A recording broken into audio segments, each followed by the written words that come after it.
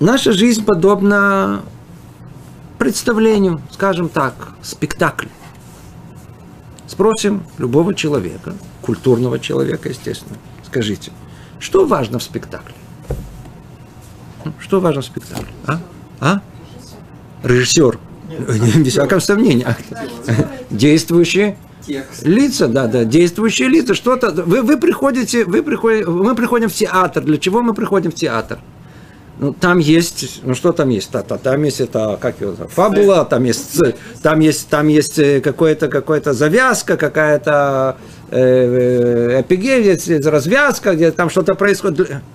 Есть еще сцены и декорации. О, о, а теперь, а есть люди, которые говорили, смотрите, вот смотрите, что в театре на самом деле самое важное, не то, что самое важное, а центральная часть. Это сцена, декорация, бутафория. Давайте ее исследовать, давайте смотреть, давайте поймем, как она, как она существует. Но это уже в скобках э, болезнь э, человеческого э, понимания этого мира, когда современная цивилизация в основном интересуется сценой. То есть она интересует, интересуется по той самой материальной основе этого мира, который является на самом деле не более как фоном, основой, назовите его как угодно, сценой – того спектакля под названием «Жизнь», где мы все участники в этом. Ну что в этом, что тут главное, что второстепенное? Естественно, что участники, сама жизнь, ее надо исследовать, она должна быть в центре. Вместо этого исследуется что? То, что можно исследовать, то, что подается вот объективному э, изучению, а вот человека, а вот он такой непредсказуемый. А если он непредсказуемый, ну, значит, что там? Ну, будем исследовать, но все равно тут все равно все остается непонятным. Так вот, первое, что надо обратить внимание, что в этом спектакле жизни наша сцена, сцена, которую нам подготовили для этого спектакля, она необыкновенно устойчива. Все в меру, все в своем месте. Все имеет свое место. И мы это не замечаем. И мы за ничем мы не замечаем. Теперь, а ну давайте просто подумаем, да, вот об этом образном сравнении, если мы уже его выбрали. Вот театр, да, вот театр. Что там какие требования все-таки, чтобы разыгралась непосредственная сцена там э, ссоры между двумя действующими лицами или наоборот, так сказать, какого-то, я знаю, там, общения и радости ихнего. Действительно необходимо, что это они находились физически на какой-то сцене. Теперь эта сцена должна отвечать требованиям каким? Самое основное требование, которое есть. Какое основное требование есть? Смотрите, то, что, то, что, то, представь себе, что сцена двигается. Представьте, она все время, причем, причем непредвиденно, да, то есть раз и раз их сдвинулась, да, потом раз и в эту сторону, потом, потом чуть-чуть в эту сторону, в эту сторону. Тут, э, э другими словами, без сцены бы, что бы говорилось, секундочку, секундочку, я сейчас покажу кто-то действующее лицо, кто-то, на кого надо обращать внимание, выясняется, что будет, все мы будем сидеть, обращать внимание на сцену, а не на действующие лица. Если мы хотим, чтобы действующие лица, они были э, в центре нашего внимания, то нужно, чтобы сцена была полностью сценой. Она должна быть устойчива, не привлекать ничего внимания, не двигаться, ничего. Это единственная стабильность должна быть основой того спектакля под названием «Жизнь», в котором мы с вами участвуем. Вот и теперь под этим углом надо рассматривать нашу реальность. Давайте посмотрим под этим. Если человек малый мир, то значит есть где-то и большой мир. Скорее всего. Что есть большой мир? Мир это есть реальность вокруг нас. Теперь явно до такой идеи мало кто додумался сам. Но оказывается, что мир вокруг нас. И человек построен одинаково. Теперь, ну мы посмотрим вокруг. И это не заметим. Почему? Потому что наш взгляд, он ограниченный. Вот прямо вот, а что я вижу? Вот песчинка, которая смотрит по сторонам в океане и хочет увидеть океан, она не видит. Надо подняться вверх, посмотреть, взять вертолет какой-то, забраться на верхушку мира и оттуда посмотреть, увидим мир во всех его проявлениях. И в проявлении в пространства, и даже в проявлении времени – и как человек, это есть подобие между ними и другим. Теперь это одно из э, является в, э, объектов рассмотрения в внутренней части Торы. Там это очень подробно разбирается. Каким образом эти две мира, они подобны и так далее. И естественно, что когда мы обнаруживаем это подобие, мы удивляемся, вау, как это так может быть? Оказывается, не только вся Вселенная, но и человек, и человек, и Вселенная одинаково построены. Мы видим, что они исходят из одного источника. Их, по-видимому, конструировал один архитектор, один конструктор сотворение человека в виде органического сочетания первооснов. Что он имеется в виду? Тут какие-то слова такие. Органического сочетания первооснов. Что за первооснов? Что за первооснов? За этим прячутся четыре первоосновы, которые есть. Всегда это четыре, что вы знали. Всегда четыре. Всегда четыре. Э, они называются э, э, Эш, огонь, Руах, это ветер назовите это. М? Ветер, да. И маем, вода и афар, это земля, тоже тяжело это как-то перевести адекватно, но в общем-то. В физике так мы и видим, точно так же есть, есть плазма, есть газообразное состояние, жидкое состояние и есть твердое состояние. Это просто только, чтобы мы понимали, что это, как это происходит. Видите, нет пять, есть вот, четыре. Теперь, оказывается, что человек, он э, органического сочетания первооснов. Эта тема сама по себе, что с точки зрения духовной имеется в виду под словами огонь, какая основа строится из этого в душе человека, под рух, э, духом, то есть э, как, ветром, что за ветер у нас там есть в душе нашей, есть вода там. Это прообразы. Нам надо что-то духовное как-то назвать.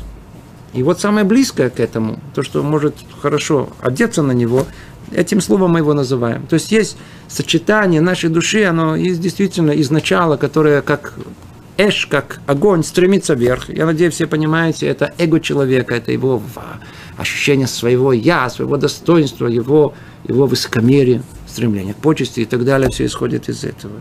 Есть руах. Руах – это постоянное движение туда-сюда. Из этого сейчас мы дальше заметим. Э, руах мамала говорится. Это человек, он говорящий.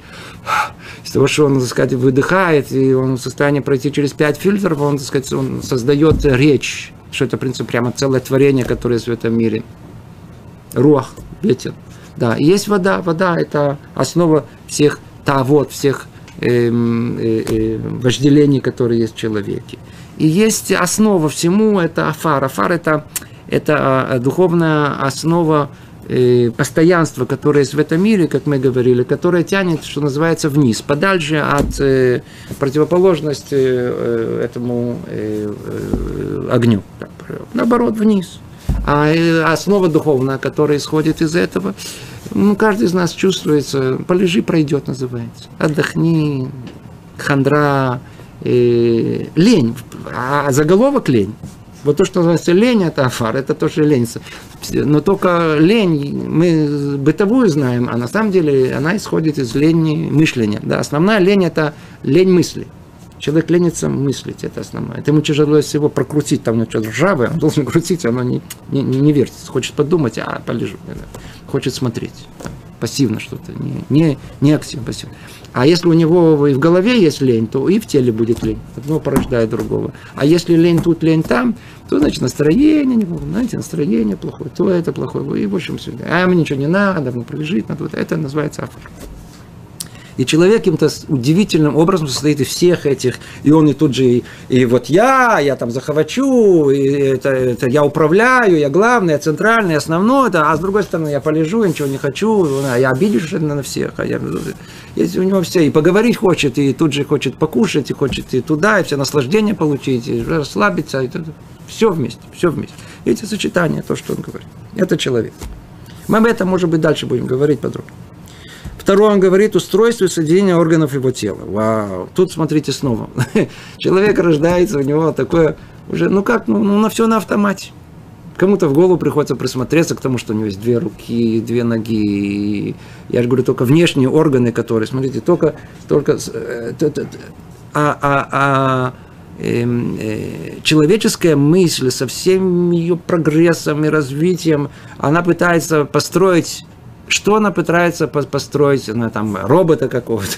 В конечном итоге все приходят к копированию того, что есть человек. Почему? Потому что давно-давно мы уже поняли с точки зрения просто инженерии, с точки зрения расчетов конструкций, что человеческое тело и как устроена там рука, смотрите, есть раз, два, три, да, и это должно быть, это э, свобода, это вращение в эту сторону, в эту сторону, так и так, она, она оптимальна. Как она ее, да, тут ничего лучшего не, не придумали. Может быть, там по каким-то причинам делают что-то более такое дешевое, да? но с точки зрения, как это должно быть, чтобы было 5, 5, 5, 5. Не надо 6, но 5 надо. У каждого есть своя функция. Не просто так. 3 недостаточно. Нам недостаточно. Все знают, 3 недостаточно. Надо 5. 5 пальцев. Как это, почему именно 5 появилось? Почему по-другому? Начнем присматриваться только внешним частям, а что там внутри, это уже вай-вай-вай, это только, знаете, там анатомия, все эти врачи могут только вообще понять, оценить, какая невероятная сложность всех процессов внутренних, которые происходят. Одна печень, дорогие друзья, одна печень. В мире, по-видимому, все заводы, кто-то слышал, может быть, это может преувеличить, например, все заводы не производят химических процессов в, в, в, в, количестве, а уж тем более в качестве, которое одна печень одного человека производит. Как это произошло? И все случайно это произошло. Да? Не, печень образовалась случайным образом. Не подумайте, что там ее кто-то конструировал. Да? Да. А про все остальное там и как это все взаимодействует. Как взаимодействует. Есть один у меня, э, сосед мой, он, он, он доктор наук, исследователь в области э, микробиологии. Да. Занимается один очень, очень, очень интересными вопросами. Э, такой выглядит, с бородой такой. Всегда интересно, как люди приходят, вот, меняют свою жизнь с конца на конца. Так он, так он сказал, он говорит, все, все очень просто. Я просто изучал э, Марехат Хисум. Это как по-русски? Это систему, ну, э, есть у нас это иммунная система, да. Он, он, он занимался иммунной системой. И вот когда он стал выяснять и там разбираться во всем этом, он говорит, это не может, это, не может все случайно получиться, потому что это, там есть много частей, которые с друг другом они не, они не соответствуют друг другу, их надо, надо их как-то составить, чтобы это было сходило с этим. И чем больше изучает, находит все больше и больше необыкновенную сложность. Он как раз этим занимается. Он говорит, это просто, просто уму не... Что происходит? Мы ничего не чувствуем при этом. Вы понимаете, что такое сцена? Человек. Вот снова то же самое. Что такое тело? Вот кто-то осведомлен, что у него происходит внутри. Клюм ничего. Автомат полный. Человек поел, а вкусно. Очень что вкусно? У него там заработал такой завод работает, самый большой, который, знаете, вообще в мире не существует. Обработ, что там только какие-то, тут выделяется, это выделяется, тут какие химические процессы только не происходят. Да, поел вкусно, это выпил. Он вообще об этом думает, а чем он занят? Он занят, вот там девушка симпатичная, да. А тут вот что-то, я знаю, там интересная программа, а тут, я знаю, думает о будущем, да. Сцена жизни, как мы сказали, должна быть какая? А? Устойчивая. И она не должна отвлекать нас от основного. Единственное, что, что естественно, что если мы начнем ее рубить топором, то она там, там просто сами ее пах, а потом раз, и в эту дырку сами попали, она, а вот видите, нас сцена отвлекает. Верно, человек может заболеть. Почему? Мы его по молодости, по глупости, вечно это, это, эту сцену там долбаем, долбаем. И вот, видите, и вот до, довели до того, что там какие-то дыры появились, туда падаем. Есть такое, да. Но, в принципе, человек живет. Большинство людей, мы видим по большинству, живут. Вообще, тело вообще не знает, что они существуют. Вообще не знает. Вот человеку, который вот вырос, человек вырос где-то в джунглях, не знаю, на каком-то острове, да? Нет анатомии, нет школы, никуда не ходил. Никогда не ходил. Он даже не знает, что у него есть сердце, легкие. Нормально. А что, что такое? А что я делаю? Я, он просто не будет понимать, что там внутри происходит, а там что-то происходит. Мы не обращаем на это внимания. Это он говорит, присмотритесь к устройству соединения органов его тела. Да. Не надо быть этим а, а, анатомом и знать хотя бы по частям, хотя бы основные части. Хотя бы основные части, как это все сосуществует, как это все разделилось, как это не мешает одно другому, а наоборот только помогает друг другу в полной координации.